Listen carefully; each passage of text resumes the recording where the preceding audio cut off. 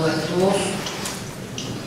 Yo quisiera en primer lugar agradecer al profesor eh, Manuel la invitación que me ha sido extendida, como él ha explicado, la entiendo, se en mi carrera profesional, el Instituto Nacional de Derechos Humanos, que ha colaborado en la construcción que el Instituto Nacional de Derechos Humanos ha venido entregando a la opinión pública y a los diversos órganos del Estado a través de su informe anual. Así que eh, para mí es un placer, un orgullo poder estar en esta casa de estudio poniendo una breve síntesis de lo que son los estándares internacionales de derechos indígenas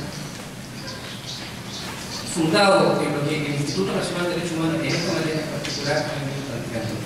Permítanme también señalar brevemente, que sean cinco minutos, qué es el Instituto Nacional de Derechos Humanos, en ese marco, cuál es la opinión que ha ido construyendo en esta materia.